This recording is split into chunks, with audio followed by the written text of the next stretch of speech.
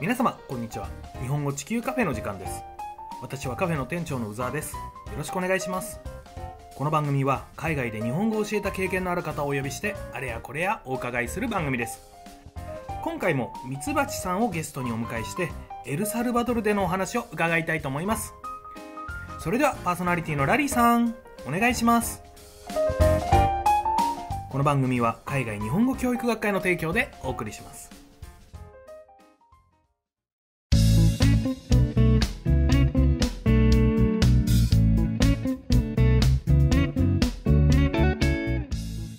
こんにちは。本日も前回に引き続きですねミツバチさんにお越しいただいてエルサルバドルでの活動について伺っていこうと思います。ミツバチさん本日もどうぞよろしくお願いいたします。よろしくお願いします。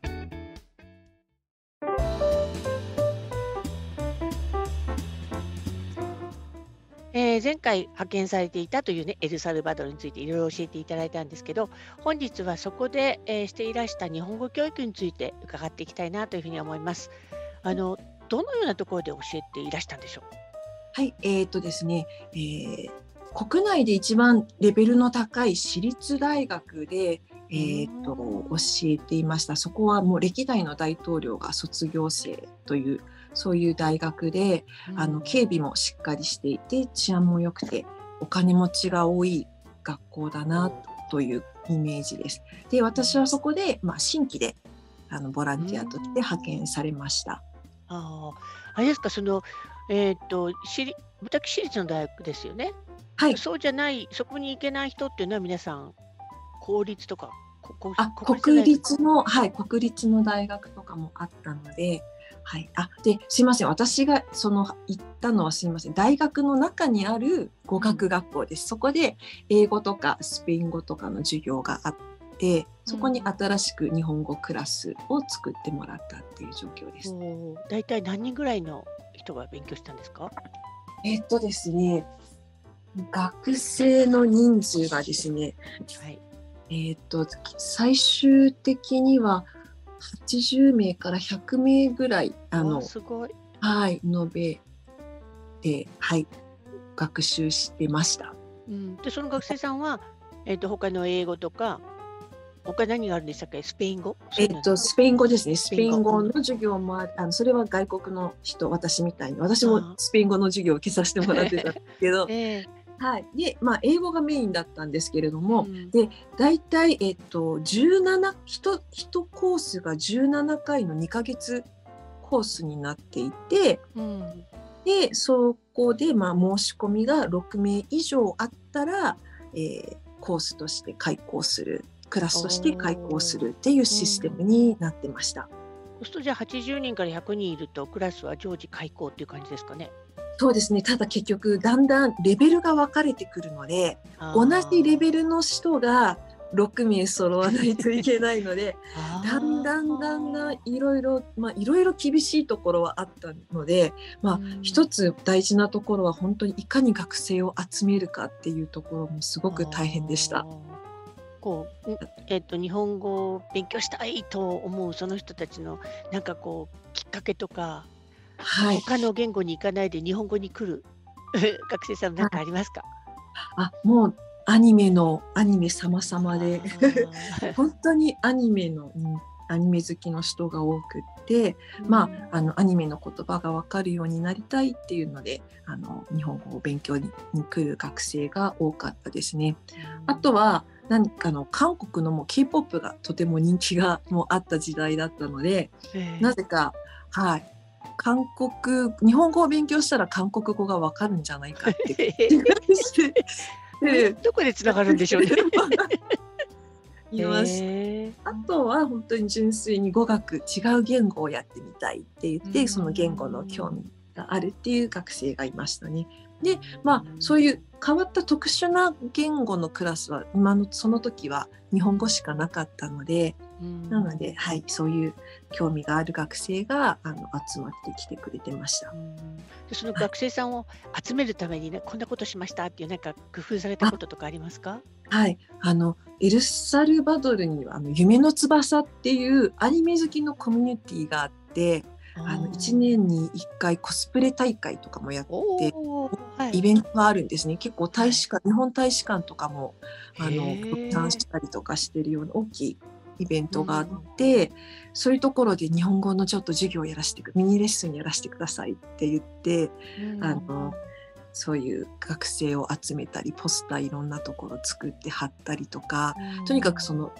大学で日本語クラスが始まったっていうことをすごくこう宣伝するっていうのもはい。じゃあそういうのを頑張ってなさって、はい。的には80人から100人ぐらいの学生さんが集まってきたと。はい。うん多分もっとほんはいもっといたと思うんですけどすいません、うん。私がちゃんと把握できてないんですけど。大丈夫です。あれですか、はい。でもそのじゃあ日本語を勉強したその先というのは何かこう日本企業で働こうとかそういうふうな流れではない？そのエルサルバトルはやはり治安が悪かったということもあって、あの私がいた頃には日本企業っていうのはなか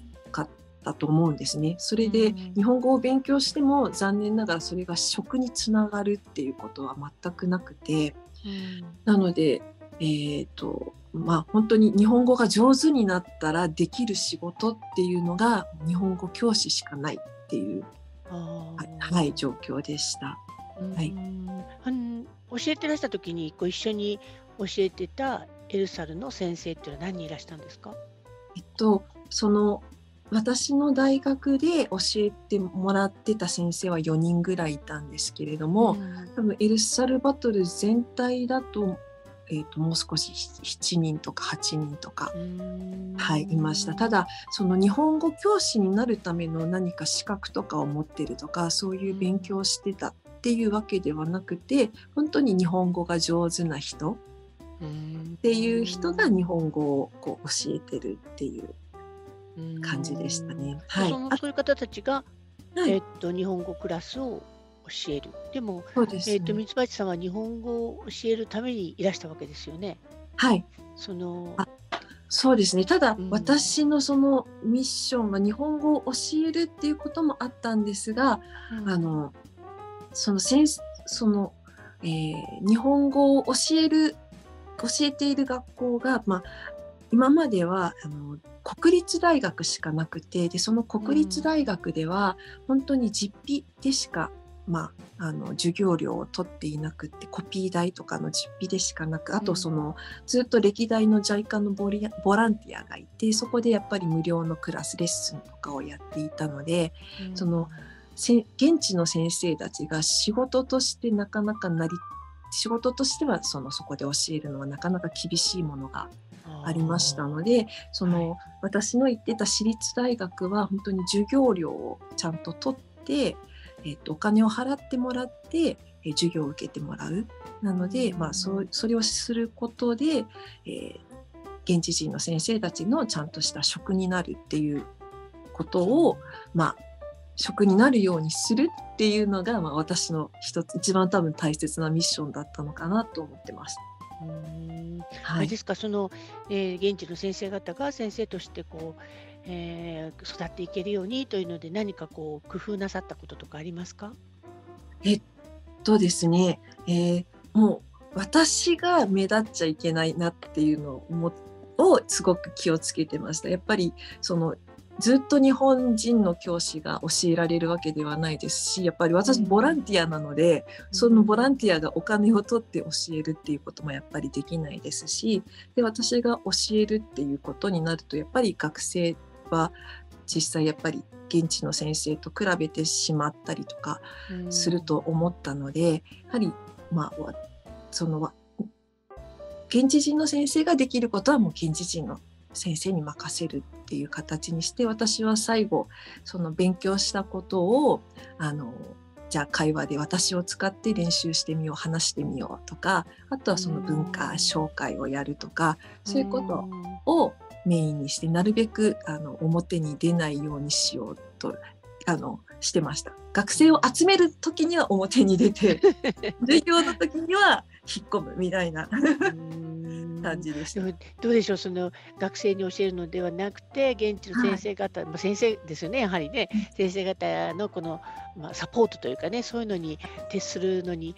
まあ、いろいろ苦労なさったことあると思うんですけど、そういう時になんかこう、あーっとため息が出ることもあったんじゃないかなと勝手に思ってるんですけど どうやって乗り越えられてきたんでしょもうなんか多分教えることよ一番多分その育成するっていうことが多分私にとって一番苦手なことで で本当にあの教えるとかだと本当にこうノリで楽しくできるっていう部分があったんですけど、うん。こう人を育てるっていう部分で本当にやったことがなかったことだったのでそこですごく苦労して、であのなんか気が付くと山本五十六の言葉をこう墨で書いて。う。へこれをえ自分のあのデスクの横に貼って辛い時があるとそれを眺めてそうそうしんあの信じて信じてやらせなきゃダメってご自分で 言い聞かせながら へえまあ、でもね、そういうこうイベントなんかの準備なさってたんですよね。んそうです。かすごく印象に残ってるイベントって一つ何かあれば教えていただけますか？えっと、イベントも本当にそのもう大学で全部新しくやること初めてやることばっかりだったので、その文化祭とかスピーチ大会とかもすもう初めてやるのでとっても大変だったんですが一番大変だったのがあの中米カリブ、えー日本語教育ネットワークっていうのがありまして中米カリブの10カ国、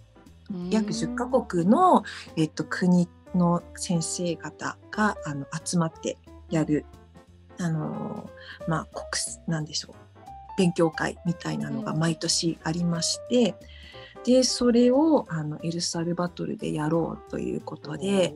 はい、で今まではその日本人がどうしても中心になって準備したりっていうことがあったんですけれども、まあ、うちのエルサルバトルは本当に優秀な先生が多かったのでやる気もある先生も多かったので、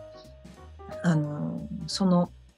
えー先生たちに中心で準備やってもらったりとかそのイベントの、えーこう進行とかもそういう現地の先生たちに中心でやってもらおうっていうことでやりました。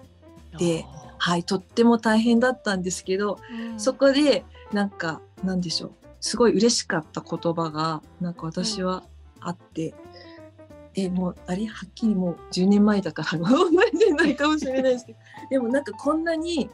なんか人生で大変だったことを私はしたことがありませんって現地の先生に言われて。でも本当に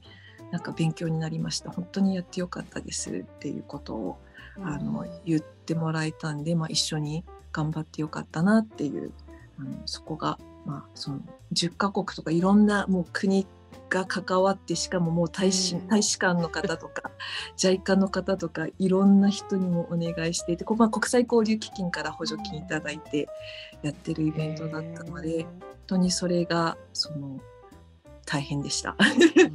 でもとてもあのやってよかったですしなんか本当にその後もエルサルバトルではその、ねえっと毎年やってる勉強会を3回もやっているっていうことで私がやったいた時に1回目やってで10年間の間にも3年が3回エルサルバトルで行ってるっていうことだったのへー。しっでかり根付いてますね。はいすごいな、は本当に尊敬します。素晴らしい。はい、はい。ありがとうございました。ござい。あのね、なんとかその お話を伺ってこうサポートに徹するというのはねあの言うのはすごく簡単なんですけどやっぱり日本語を教えにいらしていてでも、はいえー現地の方にお任せするというその言葉、えーそれが私は非常に印象に残りました。はい、えっ、と三橋さん本日もどうもありがとうございました。ありがとうございました。ラリーさん、ミツバチさん、ありがとうございました。ミツバチさんによると、当時の現地の日本語の先生方は、実はもともと日本語の専門ではなくて、英語が専門の先生が日本語のクラスを担当していたそうです。ですから、教育の専門であることはもちろん、英語の教授法というベースが日本語の指導にも生きていたのではないかということでした。それもすごいことだなぁと改めて感じてます。概要欄には中米カリブ日本語教育ネットワークのことやエルサルバトルのアニメ事情など三橋さんから頂いたエルサルバドルの参考リンクも貼っておきますので是非ご覧ください。チャンネル登録なども大歓迎です。それでは次回もお楽しみに。この番組は海外日本語教育学会の提供でお送りしました。